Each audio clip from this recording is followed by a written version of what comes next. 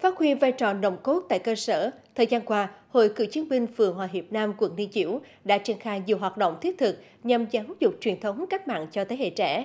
Với công trình Đình tưởng niệm bà mẹ Việt Nam anh hùng, anh hùng lực lượng vũ trang nhân dân, anh hùng liệt sĩ trên địa bàn phường, Hội cựu chiến binh không chỉ tham gia đóng góp ngày công xây dựng mà còn tích cực tuyên truyền, vận động các bạn đoàn viên thanh niên đến đây để tìm hiểu về lịch sử quê hương.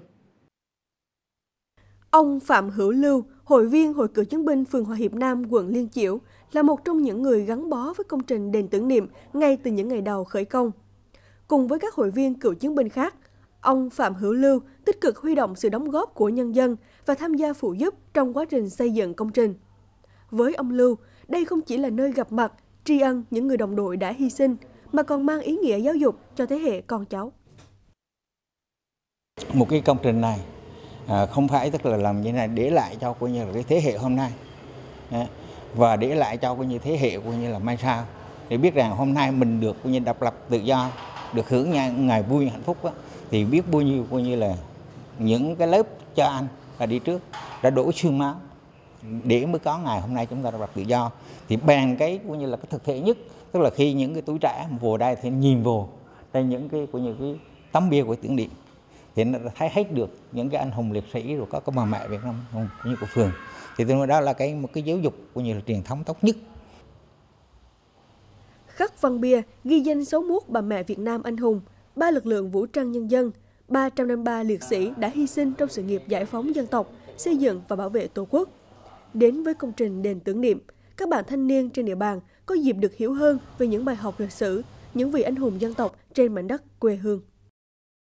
Dạ, nhờ đèn tưởng niệm em mà biết tới lịch sử hơn, à, biết tới những người hy sinh, à, góp góp sức ừ, đóng góp cho cách mạng Việt Nam hơn. À, à, em mới biết tới những mạng Nam anh hùng đã mất, những liệt sĩ đã hy sinh. Cách làm của Hội Cựu chiến binh phường Hòa Hiệp Nam là một trong số nhiều mô hình được Hội Cựu chiến binh các cấp trên địa bàn thành phố triển khai nhằm bồi đắp tinh thần yêu nước, lòng tự hào dân tộc cho thế hệ trẻ hôm nay.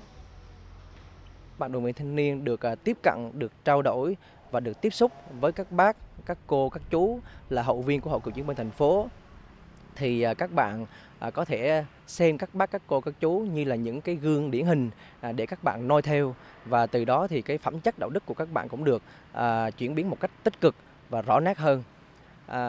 Và chúng tôi cũng mong muốn rằng là trong thời gian sắp tới à, thì thành đoàn sẽ tiếp tục à, có những hoạt động bổ ích và thiết thực nhiều hơn nữa à, để phối hợp cùng với hội cựu chiến thành phố để làm thế nào đó để cho giúp cho các bạn đoàn viên thanh niên hiểu rõ hơn nữa về cái lịch sử, về cái phẩm chất đạo đức của chính các bạn đoàn viên thanh niên